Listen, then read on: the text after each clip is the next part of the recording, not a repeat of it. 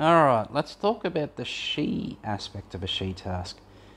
This is the major part of your assignment, but it's a chance for you to branch out from the hardcore technical chemistry or physics and focus more on what would be considered sort of a humanities approach to the science. You could almost imagine that you would be like a science journalist for ABC or Cosmos or something like that. Um, you're writing about it in a way which makes people interested in the science that you've researched and the people that are working on the project. And you've got to look at the difference between specific versus general. You need in depth and you need detail. So, uh, the one of the best examples I often find is when it um, when we're talking about uh, global warming. I mean, to be honest, I've read so many she assignments on global warming. It's starting to get really boring. That's my problem. I mean, if you want to do global warming, go ahead. I will make sure I don't downgrade you because of my personal issue with reading the same assignment five million times. But you get to the she part, and I might say, like, application. Removes carbon dioxide from the air. Influence will reduce global warming overall for the whole planet which is great for humanity. I mean you know no shit. You know, it, it, those are very general well understood assumptions. A more specific example would be to um, look at a brand new kind of carbon capture and storage method which would store carbon in a brand new different way which is commercially viable. And here's the research group that did it, and here's a picture of the scientists that's involved, because it's all about the humans. And you've got this sort of depth and detail and specificity there. So rather than saying it's great for the whole planet, it's more about here's a brand new technology. It's really exciting. It's got some wonderful um, I mean, that's not true. I don't really believe that about carbon capture and storage, to be honest. We just need to stop setting fossil fuels on fire. That's the easiest way to not fill the planet with carbon dioxide. It's not about finding a way to take away the shit, I shouldn't swear, that comes out of the fire and stick it under the ground. That's just storing your problems for later. Anyway, enough on that. Um, you need to look at depth and detail. So don't just talk about the planet in general, talk about the specific research project. So if we're looking at specific versus general, you need to do um, two examples. Have I written that somewhere? Two letters. You need two letters from CC Dial. So you could choose collaboration communication. And so often collaboration communication and application limitation are considered a letter. Um, you could do all of them if you wanted, but the, the direction from SACE or the recommendation is that you choose only two because it allows you to give in-depth detailed examples of how that has been achieved. If you do all of the letters, you can sort of get this general example of each, but then you don't get that chance to show some analysis to say that to finish off the so what bit. Like if you say, well, they've invented this new technology so what? They published it in a journal. So what? You know, you, you, have got to go to that next level. And, and that's what you say, well, the journal was uh, a really world renowned peer reviewed scientific journal. So what? Well, it's been cited 165 times by other scientists. So what? Well, those scientists have gone on and they've done other research based on the research that has occurred. You see, you see, you're going to that next step, next step, next step. So what, so what, so what? And uh, that shows analysis. It shows an understanding of the um, thought process, the scientific process, and the whole point of doing research is to, you know, to, to build on what people have done before and, and, and make things better. Um, you need to nick language from the subject outline. When I say direct statements, I say, um, you know, these two universities have worked together. This is a great example of collaboration and communication as we have two research groups, one from China, one from Australia. They've, they've got different languages, but you know, they're communicating, so on and so forth. you you've got to say this is an example of this, and you and you put the the heading can be the letter that you're talking about. You you don't want to make me have to sift through your science as a human endeavor content trying to determine if what you're going on about is either development or influence. You, you don't want it, it needs to be really clear. And it needs to show analysis. And and part of that is going to be researching. Now you've got two approaches to choosing the letters.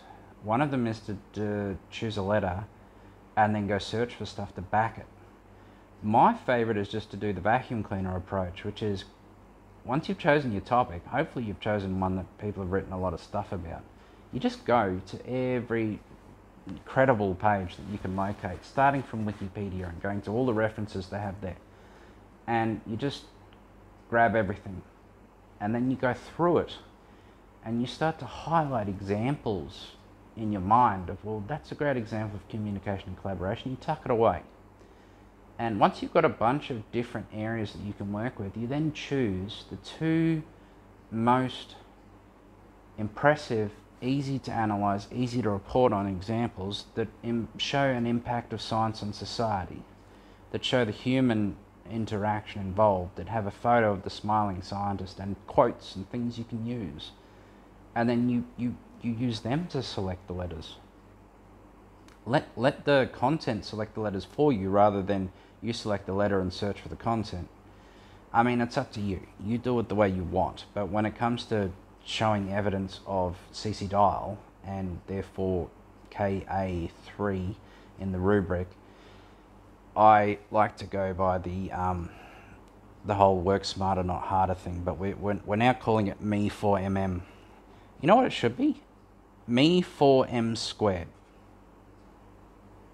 Or, yeah, so minimum effort for maximum marks, which is work smarter, not harder. So uh, the new concept is me 4m squared.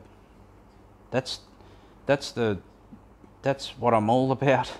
I don't see any point doing heaps and heaps of work if it's not going to be worth anything for you.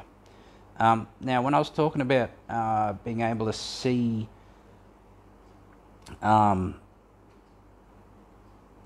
see the evidence in your sheet, that, that's part of that whole haystack thing. I don't want to be looking for a needle in a haystack, as they say. And I don't want to be looking for hay in a haystack either. It, it's that whole flow and feel but also really damn obvious what I'm reading. And there needs to be some kind of link between the technical stuff and the she. You can't do technical on one side about one topic and then she on another. The link can be tenuous, but it still needs to be linked. Now, when it comes to the whole human, it's all about the humans. We're talking about, well, what are humans for? I mean, they're a scientist, they have a biography more often than not on their um, website for whatever university they work for or whatever commercial company. Often they will list all their papers that they've published. Um, you can go to those papers and you may not be able to access the full scientific paper straight away. um, the library has access to just about all journals. So if you need some help with that and you do want to read it, and you can't sort it out yourself with your own CDU login, go to the library and speak to them. They'll help you pull the paper. They, they absolutely love it when students come and get assistance. And I think if that ends up being like a high school student, it makes them feel even better about it because people are interested in researching. You, you'll make their day. But who's to say you'll actually understand the damn research paper? Half of this stuff is not understood by most regular scientists. You need to be a, an expert in that area to really get what's written in there. I mean, if you get it, that's fantastic, but what you can use is the abstract at the front. Often the abstract will contain all the juicy content summarized in a paragraph, and you can just simply quote that stuff. And it's more often than not easy to understand because that, that's, the, that's what they're trying to use to, to latch on to the, the prospective scientist who might cite their paper. And the thing is, the more people that cite a researcher's paper, the more cred they get and it's it's that academic cred which then can permit further grants for money and, and you know guarantee their wage get them the next academic rank level because you know you go from like lecturer to senior lecturer associate professor, professor, emeritus professor. Like that, it's like the bloody academic army. It's there's a process there, and if you're doing all your research and you're bringing in grant funds, then that means that you can continue to co, co uh, just do research. Um, research scientists that don't get grant money have to contribute back to the university in other ways. For example, having to run courses and teach uni students. So that's the other way they do it. And then on top of their research, which they want to do, they also have to teach and mark assignments and tests and whatnot. And so that's why they'll normally publish the crap out of anything they're doing in the hope that um, they can get some academic cred and draw the draw the, the cash because that, that's what this is all about. It's always about cash. Look at the publications and the citations. Talk about what journal it's published in. We're talking peer-reviewed scientific journals here. That means like if it made Nature, for example, which is what the preeminent scientific journal, it accepts 8% of all papers um, and you can just look at the journals page on Wikipedia, it'll tell you a bit about it.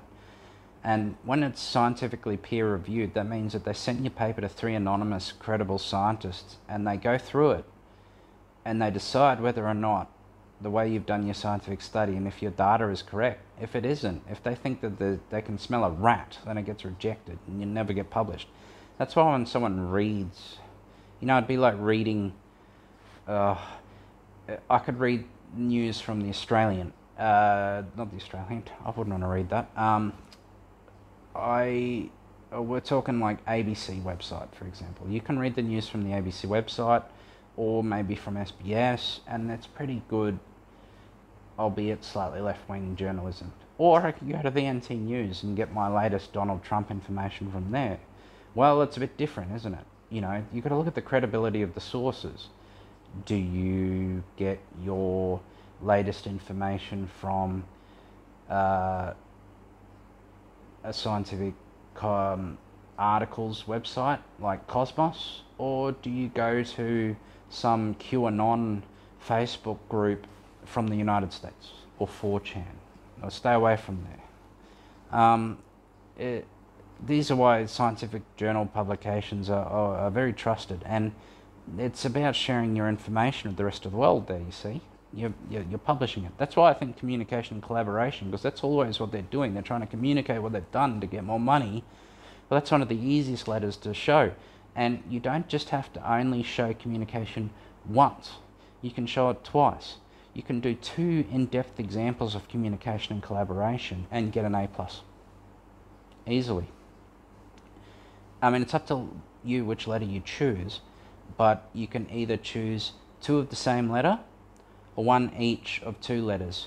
I've seen people pull it off with three letters, but you're going to be pushing it a little if you do any more because um, it'll eventually get to the point where you simply don't have enough words to talk in detail and in depth.